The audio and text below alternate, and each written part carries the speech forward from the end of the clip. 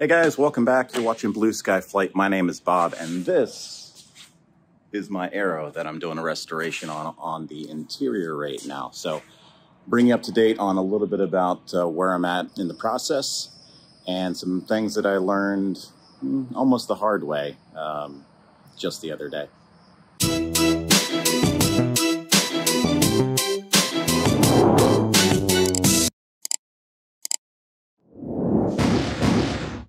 So I've been putting in a lot of hours on the Arrow um, and had been just kind of taking my time with it as I went along, waiting on side panels and seats that had to be delivered. So I knew I had a little bit of time to kind of uh, work with there. So I was taking my time with it and everything. And then the side panels arrived the other day, hooray. And I started uh, going at it a little bit harder and heavier than I uh, maybe had been in the past because just anxious to get the airplane back in the air but definitely learned a lesson from that. And that is take your time. Uh, not everything is always going to go as planned. Sometimes things go a little bit uh, more difficult and challenging. Case in point, the headliner is in. I was putting in some of the trim pieces for that, and sometimes a little bit difficult finding where the holes were underneath that. Fortunately, I took a lot of good photos before and during the dismantling of everything. So using those images, it kind of helps me figure out about where they're at and then kind of feel my way. But anyway, it was kind of a long day. I was getting a little bit hot and a little bit tired and the frustration started to take over a little bit. And I probably pushed it a little bit further than I should have. And there's a couple minor things I'm going to have to correct now. So, lesson learned there is when you kind of start feeling that way, put the tools down, step away from the airplane, and come back at it another day. So, I took a day off and I feel a lot better about it now. Got to watch SpaceX this morning doing their first test flight. They actually got a launch on Starship today.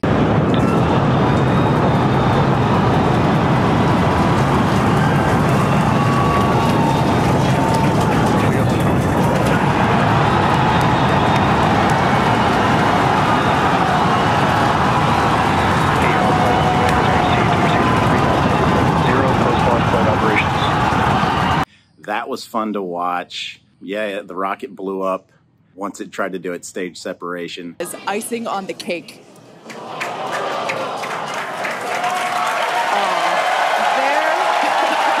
but uh, a successful failure because they learn a lot from it. It was a test flight. Really, all they wanted to accomplish was clearing the launch pad on that. So that was fun to watch. If you haven't followed any of that, it's some great stuff to watch. SpaceX covers all their launches.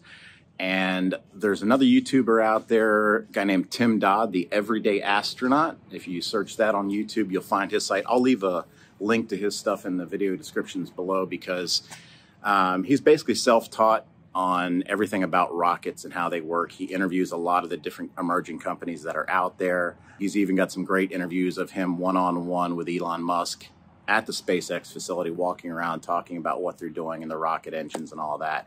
Really interesting guy, fun to watch. And because of all the work that he's done on it and the audience that he's built for that, the first lunar mission that SpaceX is going to do with Starship, that was bought out by a billionaire. He bought all the seats on it and he's putting a lot of people on it, people that can kind of share that spectacular view and that experience with the general population. So a lot of writers, influencers, people along those lines. Anyway, about a million people applied for it. And Tim Dodd, this lucky young man, um, is going to be on that first uh, flight around the moon on Starship. So how awesome is that for him, right? Anyway, back to the airplane. Let me show you what's going on on the inside and what we've done to date. So as you can see, the carpet in the front is just about done. There's some trim pieces that go around this. That pulls that down. And then up here, got some more insulation to go in there. And then the side panel comes down here. I'm waiting to put the side panel in, test fit it, and then I'll be putting the insulation in just prior to that.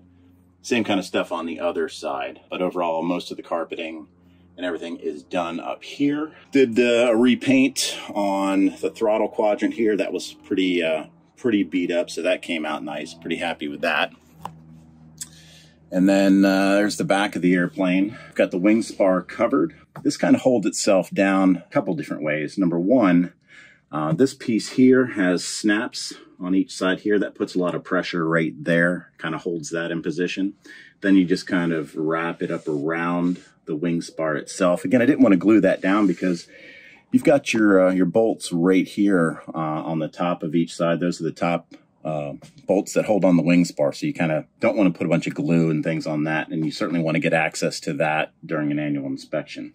And then for the back side of it, this is where the rear seats go. And this is basically a, a giant piece of plywood that has the carpeting on it. And you push that up and it goes right against the back side of this. So again, that holds that carpet in there really tight. Once this is in here, it pushes tight against that. And then as you can see, there's a trim piece here that screws in place there and that holds this board from shifting at all. And then you put two seats on top of that. So for this, all I've got remaining on it is um, there's a hole here in the middle that gets cut out that's got the, uh, the seat belt connectors and then the seat brackets get mounted around that. So I'll put that in. And then in the back, that's the carpet for the, uh, the baggage compartment.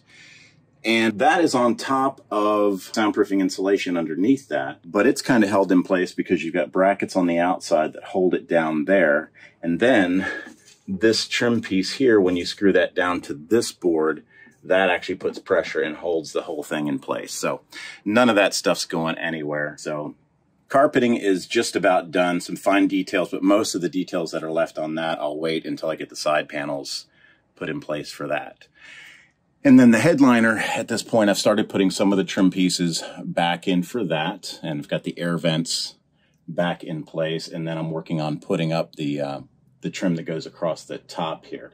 That's the part where I ran into a little bit of a snag trying to find a couple of the holes there, and uh, got just a little bit frustrated with it, but um, went back, found a lot of the pictures that I took when I took this thing apart. And so I think I know where everything is now to get all that stuff lined up. So we'll continue on from there. But that's probably my biggest piece of advice. And I know I've mentioned it before and I'll mention it again. When you do this project, take pictures all along the way, all over the place. So take some, a lot of pictures before you take anything apart. And then as you take things out, take very detailed pictures looking at all the screw holes, everything about how things go back together. Makes life a lot easier when, you know, a month or two later you're putting things back in trying to figure out where they go. Well, guys, here's another fun lesson learned. So I put up some of the trim pieces as you can see in here. And when I put them up, to me, the color seemed darker than I thought it would be. What I was trying to do with this is the side panels are two-tone, right? The, the bottom is black, um, or coal as they call it to match the seats. And then the top along here is what they call it dove. It's a very, very, very light gray color. And obviously I was waiting on the seat panels to come in. While I was doing that, you know, took all of this trim out, spent a great deal of time stripping that down, sanding it down, doing all of the stuff that you need to do to prep it and then paint it with fairly expensive paint that's specifically for plastic so that it doesn't peel, that, that kind of stuff. I've got some of that detailed in, in the other videos. In order to get a good color match, all I had to go with was the color swatch that I had from Airtex because I didn't have uh, the actual panels with me at the time. So I took those that color swatch down to a, a paint supplier that specialized in that kind of automotive interior kind of paint and had them do a color match on it. And so I painted it. And when it all came out, I, I liked the color of it. But now when I'm putting it in an airplane, it seems darker than I wanted it to be. So I took some of that and laid it next to the side panels that have now arrived. And it did seem indeed darker. So my first thought was that the paint supplier messed up on the paint. But I know that they spent the time to color match it, so I wasn't sure if that was the issue. And now I figured out what the issue is. The issue is the original trim color was even darker than this. The paint doesn't go on like normal paint. It's very, very thin and you do it in very light applications, especially the first one. And then you put several coats on there, which I did. However, what I found out, there was one trim piece that I could not keep.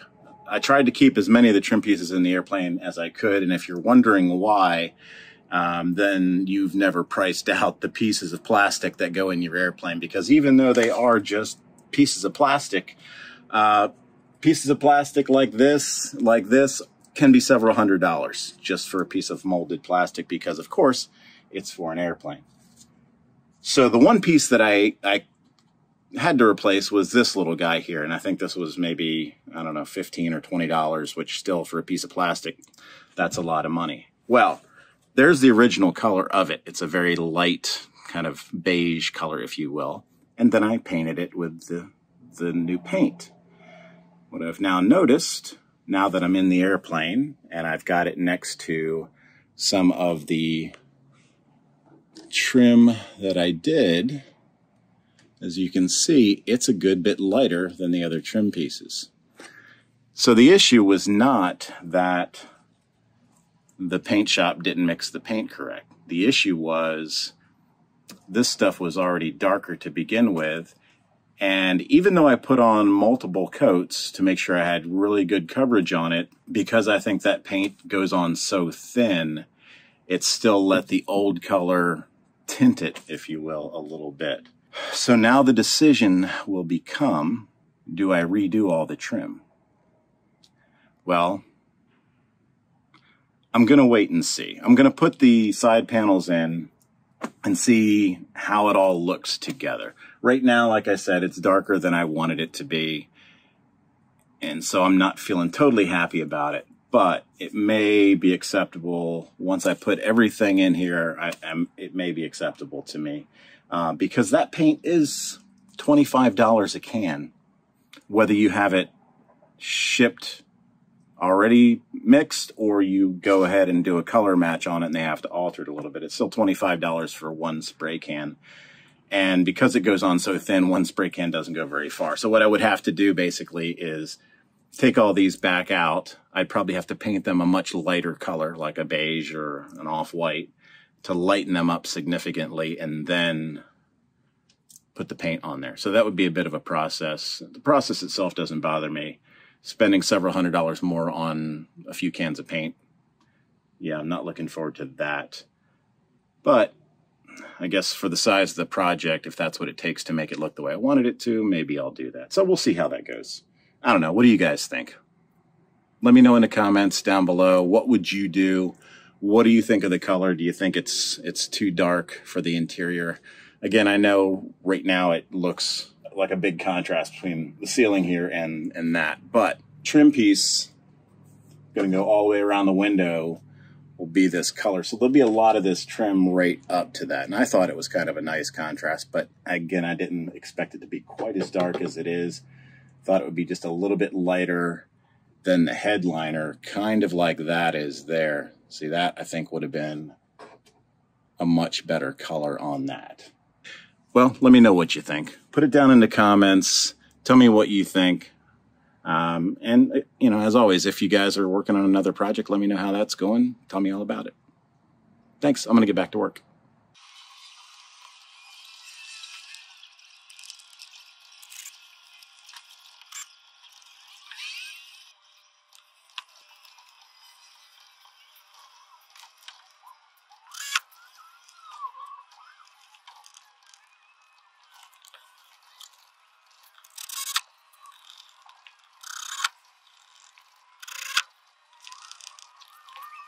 All right, so I got that up. I'm to make an adjustment to this guy here. This is the one that I kind of messed up a little bit the other day. So I'll make a small adjustment to that. Back ones are in, and um, I took this guy out. That's why I was kind of doing a weird little dance there, trying to put all that stuff in. Took that out so that I can um, put in all the brackets that hold in the seats. Got to drill those holes out.